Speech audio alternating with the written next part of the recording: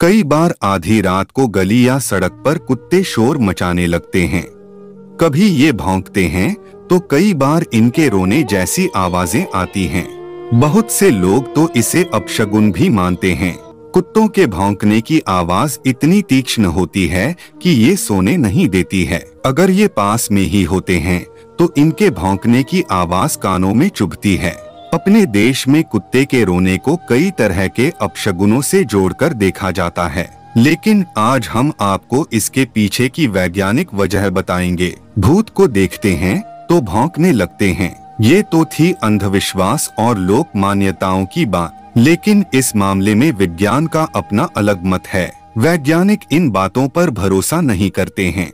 उनका मानना है कि कुत्तों का रात को भौंकना इंसानों को अपनी ओर आकर्षित करने का एक तरीका है।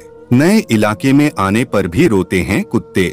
कुछ स्टडीज़ बताती हैं कि जब भी कुत्ते अपने पुराने इलाके को छोड़कर किसी नए इलाके में आते हैं या भटक जाते हैं तो वो भी इंसानों की तरह दुखी होते हैं। इसी दुख में वो रात को रोना शुरू कर देते हैं। आधी रात में अक्सर वो अपने परिवार से बिछड़ने की वजह से रोते हैं। खास तौर पर अगर कुत्ता पहले किसी घर में पला हुआ होता है तो उसका दर्द और भी बढ़ जाता है।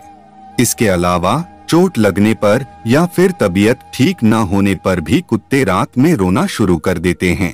साथ ही जब कोई दूसरे इलाके का कुत्ता उनके एरिया में आने की कोशिश करता है तो वो इस बात को लेकर भी रोना शुरू कर देते हैं। इस प्रकार वो चिल्लाकर अपने बाकी साथियों को अलर्ट करते हैं।